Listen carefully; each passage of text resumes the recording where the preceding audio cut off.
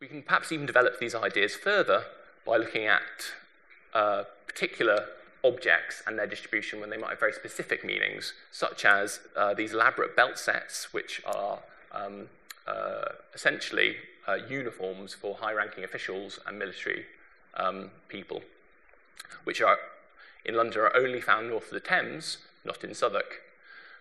Um, and crossbow brooches, which are kind of a complementary style of brooch, which was worn upon the shoulder by the, of the same people. That relationship can be seen in graves and also on mosaics and other sorts of things, which again are found up here, not down here. So do, we have basically a situation where in the late Roman period, there aren't an awful lot of um, important people living down in Southwark compared to up in uh, Roman London. It's a controversial idea. um, it's probably oversimplistic, but we can explore these issues.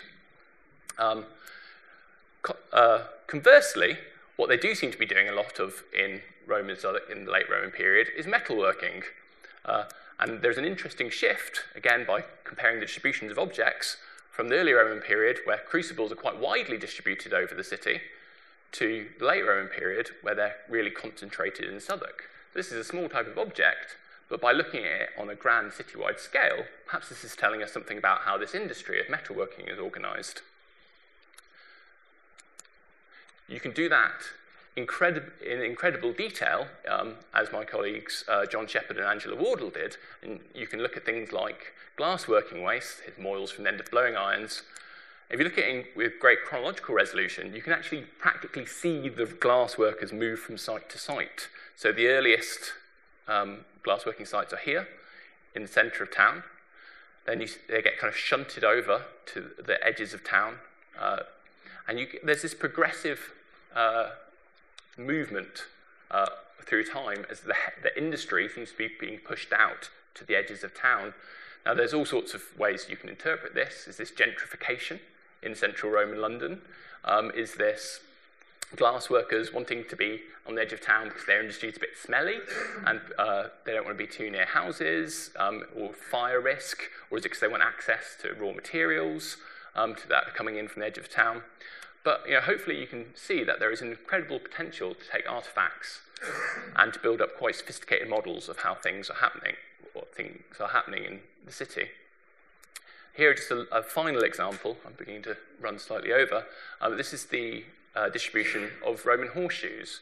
Now, you might think that trying to plot the distribution of things that move around um, attached to horses is a terrible idea, and it probably is. Um, but hopefully, you'll also agree with me that there is a big concentration of them up here at the top. In fact, over the half the horseshoes from Roman London have been found in that part of town. Um, so, what does that tell us? Well, these are temporary slip on horseshoes. So does it mean that are used for metalled roads and things like that? So does it mean that horses aren't really coming into town there? It's only when they go out of the town, uh, sorry, that it's only when horses go out of town and go on the roads that they're putting these things on. Do you not have, you know, an awful lot in the way of horse traffic in the centre of town?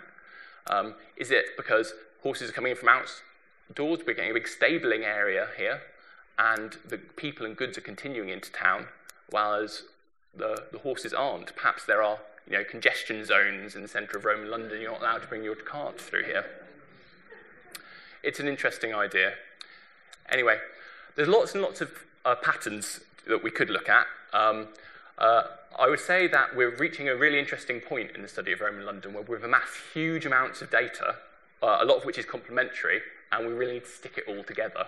Hopefully, I've kind of made you think that there is, there is worth in studying the artifacts from the city. Um, and, uh, and really, that's, that's kind of the next, next step of trying to tie it all up.